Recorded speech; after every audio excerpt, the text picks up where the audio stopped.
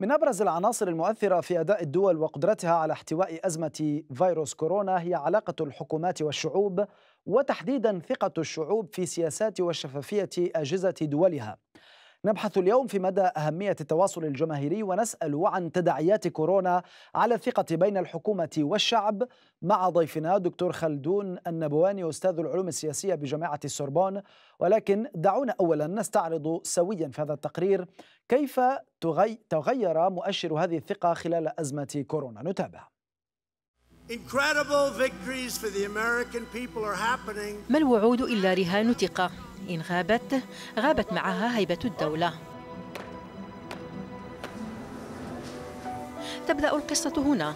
وعود تقود الفرد إلى صناديق الاقتراع. وبعد الاختيار يبدأ الاختبار. تحدي يواجهه المسؤول منذ اليوم الأول. فنجاحه يحدد بمنسوب الثقة لدى الشعب به. بيد أن في مؤشر الثقة اليوم خلل يدعى كورونا. الوباء الذي أفقد ثقة الإنسان بيديه.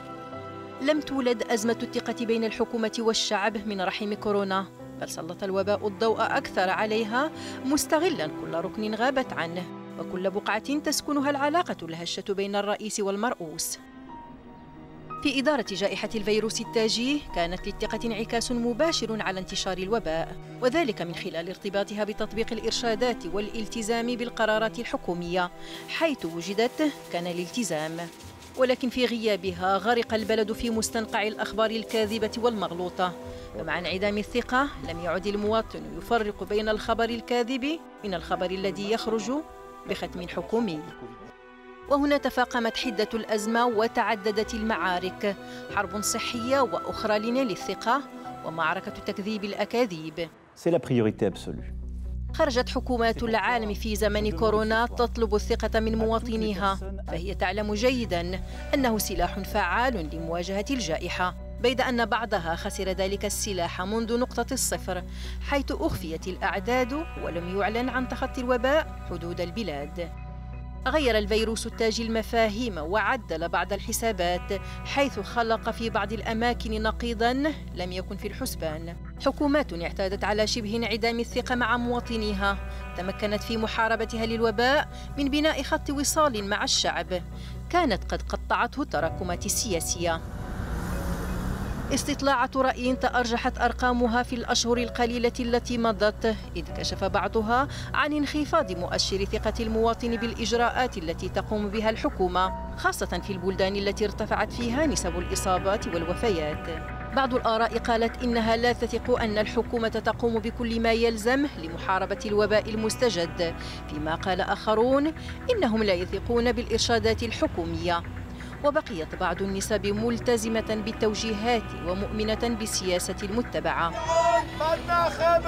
هو جسر يصعب بناؤه ويسهل هدمه خيط رفيع يربط الشارع بالسلطة ويشكل أكبر عقدة لدى الحكومات خاصة في وقت بات الشك فيه سيد الموقف حتى أنه هيمن على المسافات. نرحب معنا من باريس عبر سكايب بالدكتور خلدون النبواني أستاذ العلوم السياسية بجامعة السوربون أهلا بك في بوليغراف. هل من الجائز دكتور أن نعتبر جائحة كورونا اختبارا للعلاقة بين الحكومات وشعوبها وتحديدا لمدى الثقة بينهما؟ أهلا بك وشكرا على الاستضافة. نعم دون شك يعني في الكوارث تتعرى تلك القشرة الحضارية المدنية قليلا وتتجلى هنا ما نسميه بغريزة البقاء وبالتالي العودة إلى الحالة الطبيعية الحياة الفردية اولا قبل أي شيء آخر في الكوارث. اذا تتضح مثل هذه الغريزة الطبيعية.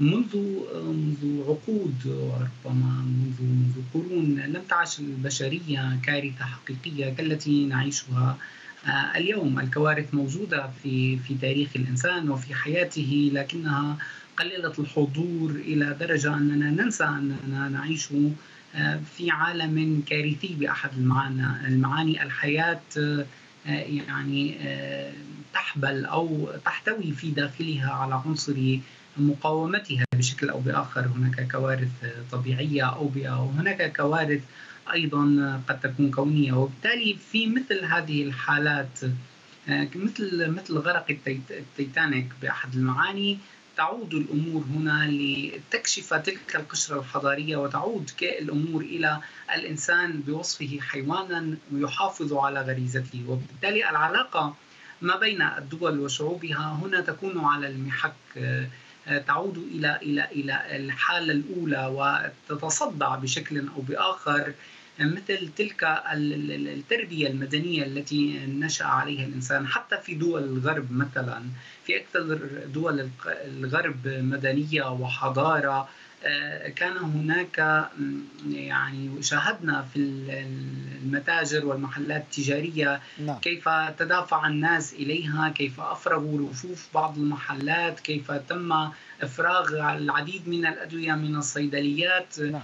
آه، هنا تتجلى حقيقة غريزة البقاء وتتصدع العلاقة وتصبح على المحك طبعا الأمر يتم استيعابه بشكل أو بآخر وفقا لآليات وقدرة الحكومة على إدارة نعم. الأزمة التي تحتاج إلى حنكة دون شك نرى الكثير من النماذج التي قاربت بين الشعوب ومؤسساتها الرسمية وأخرى أيضا باعدت بينها. ما العوامل التي حددت في أي اتجاه تسير آه، وتتطور هذه العلاقة؟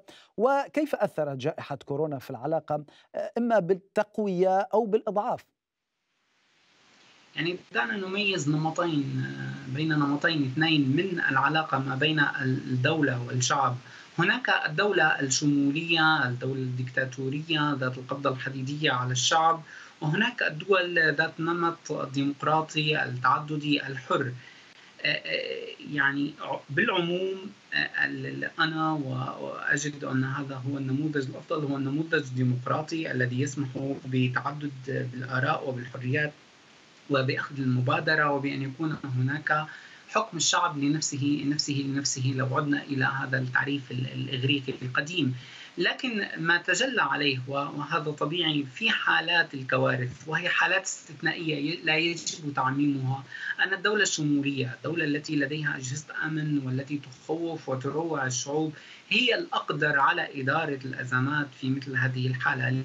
لماذا؟ لأن الشعب هنا يقاد بالعصا يخاف من بطش الدولة ربما أكثر من الجائحة والوباء والموت المحدق وبالتالي هذه الدول كما حصل في الصين على سبيل المثال كان هناك ضبط أكثر نمط من العلاقة ما بين الحكومة أو الدولة ممثلة بالحكومة وأحيانا في مثل هذه الدول تصبح الحكومة هي الدولة تماما نجد هناك قدرة أكبر على ضبط الناس. لم يحصل هذا ولا يحصل هذا في البلدان الديمقراطية التي تضطر رغم كل شيء إلى العودة إلى إلى مشاريع سياسية سابقة على الدولة المدنية، بمعنى تعود إلى فرض الأحكام العرفية، قوانين الطوارئ وهذا ما حصل في معظم البلدان. الغربية لتستطيع ضبط هذا المجتمع نعم. يجب هنا التذكير أن الأمر يجب أن يظل أن يظل مؤقتا ومرحليا ويجب أن تعود الأمور إلى آه، سالف عهدها قبل آه، حدوث طيب. الأزمة أقصد هنا أن يكون للشعب هو الدور الأكبر والأفضل. نعم. في الحكومات الشمولية لا نتحدث عن ثقة نتحدث عن صياع. العلاقة الثقة التي تقوم ما بين الشعوب وما بين الحكومات لا يمكن تصورها إلا في الأنظمة الديمقراطية، الثقة تحتاج إلى مساحة طيب في إطار هذه الأنظمة دكتور هل هل هناك نموذج لفت انتباهك آه، في طريقة تعامله مع الأزمة ويستحق الإشادة والتعلم منه؟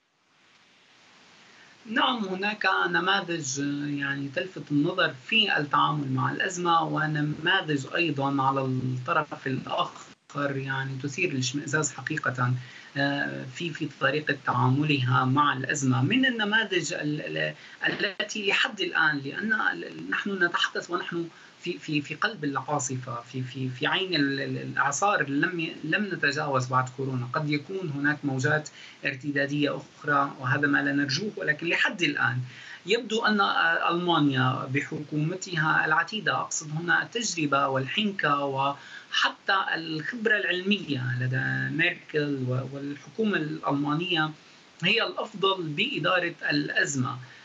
كان هناك مثلا لو أخذت النموذج الفرنسي وأنا أعيش في فرنسا كان هناك خطوات مهمة اتخذتها الحكومة الفرنسية لكنها يبدو بالغت في ذلك ومن ناحية أخرى أن الكرم الذي تفترضه الحكومة الفرنسية الآن ابقوا في بيوتكم والدولة هي من تسدد هو بأحد المعاني أخذ من جيب الشعب لأن هناك مزيد من الديون لصندوق النقد الدولي سيدفعها نعم. الشعب لاحقا وبالتالي الدولة هنا ليست كريمة.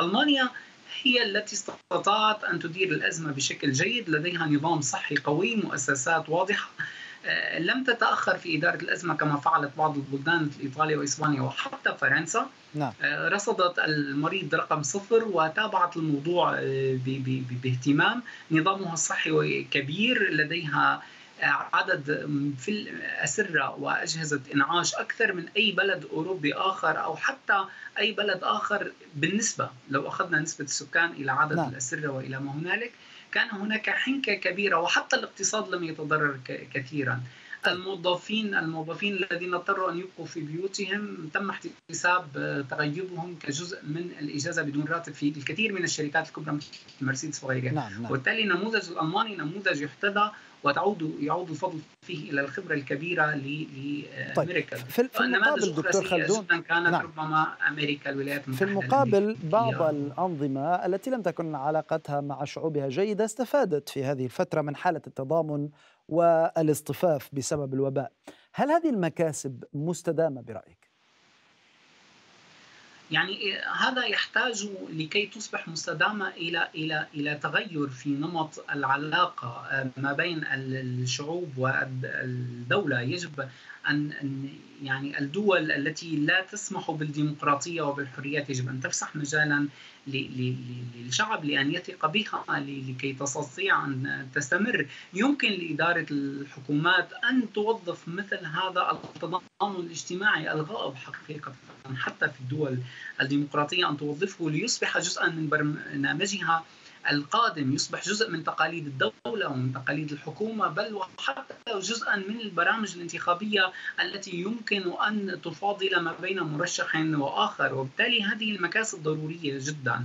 العودة إلى قيمة الإنسان وقيمة الحياة كقيمة أولى تتجاوز الربح وتتجاوز كل الألعاب السياسية الأخرى هو ما يمكن أن يجعل من هذه الميزة ميزة مستدامة يمكن توظيفها واستثمارها في المستقبل نعم. لصالح الإنسان ومن أجل الإنسان.